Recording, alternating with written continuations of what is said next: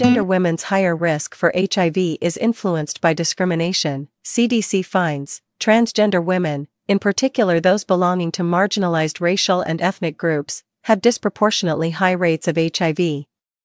Yet so far, no standardized surveillance system has collected data that could provide insight into the factors that put people at higher risk for contracting the virus. A survey of transgender women, developed by the Centers for Disease Control and Prevention, aimed to gather and assess behavioral data in relation to HIV prevention and risk for the first time.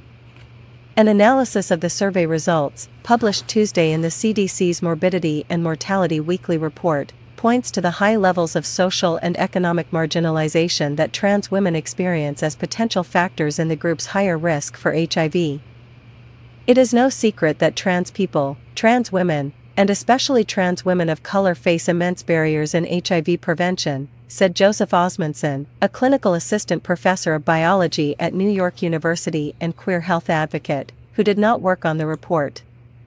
This new research not only formalizes this knowledge but addresses some of the underlying reasons, including increased rates of homelessness and transactional sex. More than 1,600 transgender women took the survey at sites across seven U.S. cities between 2019 to 2020. They were also provided with HIV testing. Overall, 42% of the participants tested were positive for HIV, that number jumped to 62% of black trans women. Compared to 35% of Hispanic and Latina trans women and 17% of white trans women. Further analyses within the report focused on topics related to HIV exposure and other issues affecting trans women's health, including access to and use of the preventative HIV medication pre exposure prophylaxis, PrEP, experiences such as homelessness and sexual violence that correspond with having more condomless anal sex, and suicidal ideation.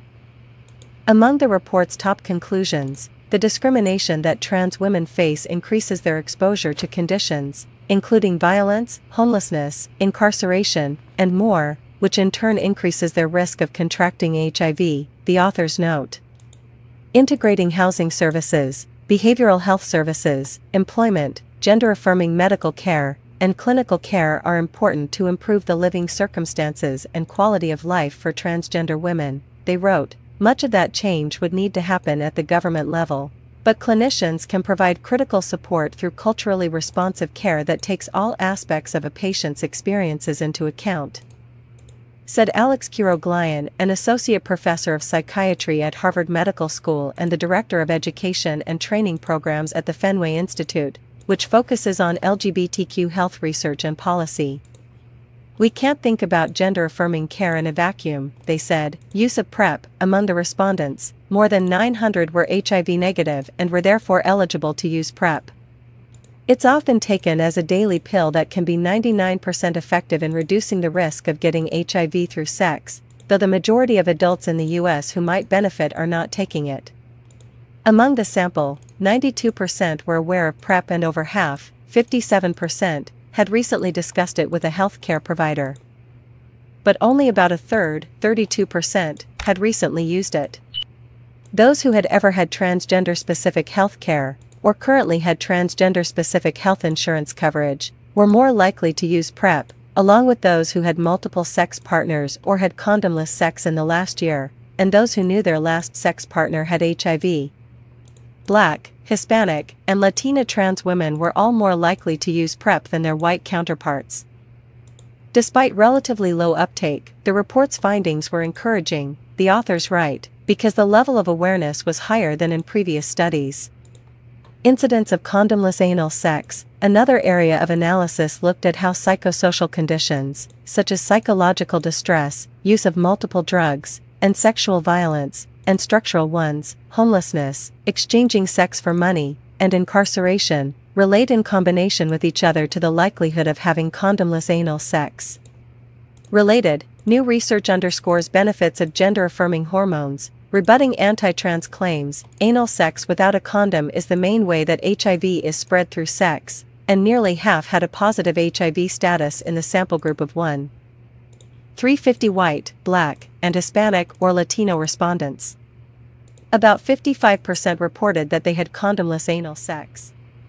The more psychological and structural stressors that people experienced together, the more likely they were to do so, which is consistent with similar research performed on cisgender men who have sex with men. The compounding factors affected transgender women of all races, but multiple drug use, sexual violence, and psychological distress were more common among white women, as was homelessness.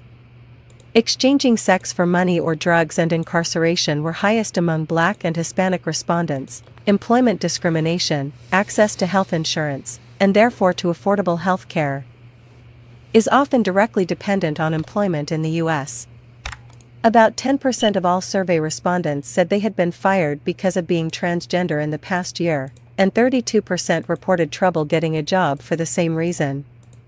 7 out of 10 transgender women surveyed experienced at least one of these forms of employment discrimination in the last year. Among those who struggled to find a job, 62% had Medicaid coverage. While most of the survey respondents lived in states where the Medicaid program does cover gender affirming care, those who didn't were twice as likely to have trouble getting a job. Almost 22% of respondents who struggled to get a job were completely uninsured. The results suggest that factors like employment discrimination, which was directly associated with poorer access to health care generally, may also lead trans women to engage in behavior, like survival sex work, that increases their risk of contracting HIV, non prescription gender affirming hormones. For many transgender women, hormone treatment is critical to combat gender dysphoria and other mental health struggles. But it can be difficult to access due to costs, insurance coverage problems, and a lack of access to inclusive medical providers. One analysis within the journal assessed nearly 1,200 respondents' use of gender affirming hormone treatments without a prescription, and so potentially without proper dosage, administration, or health monitoring. Taking hormones without medical supervision may lead to patients not understanding potential side effects.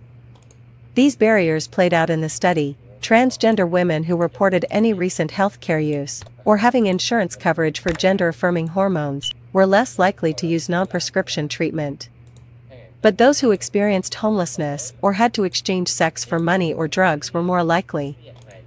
Younger people, ages 18 to 29, were also more likely to use non-prescription hormones. The researchers note that future research should look at why people turn to non-prescription hormones. As anti-trans legislation targeting both youth and adults crops up across the country, it's unclear how many transgender women may be affected by a lack of access to prescriptions. Homelessness Among 1,600 of the respondents, almost a third reported being homeless for at least one month out of the last year, with a median length of about six months. Periods of homelessness were also experienced by 55% of respondents who reported being evicted or denied housing because of their gender identity, and 58% of those who had been incarcerated. Addressing housing instability and integrating housing services with behavioral health services may also work as effective HIV prevention, the authors wrote. The factors associated with longer housing instability are some of the same factors that increase behavioral risk factors for HIV, living in poverty, experiencing violence and abuse, and a lack of social support, social support, and suicidal ideation. Among the survey respondents, 60% experienced gender based violence, including verbal abuse, 53%, physical abuse, 26%, or sexual violence, 15%, over the last year, and almost 18% experienced suicidal ideation. While this rate of suicidal ideation is actually lower than other studies focused on transgender people have found, it's still much higher than that of the general U.S. population. Suicidal ideation was higher among young people, ages 18 to 24, compared to older groups, among those who had an unmet need for gender affirming surgery, were HIV negative, disabled, homeless, and reported drug use. Three quarters of all participants reported having high social support from significant others, while just 47% received similar support from family. Experiencing these forms of violence and harassment with low social support increased trans women's risk of suicidal ideation, while social support was generally protective against experiencing suicidal ideation for trans women who experience violence. The authors emphasize the need for more integrated and holistic approaches to abuse and harassment for when social support is not enough.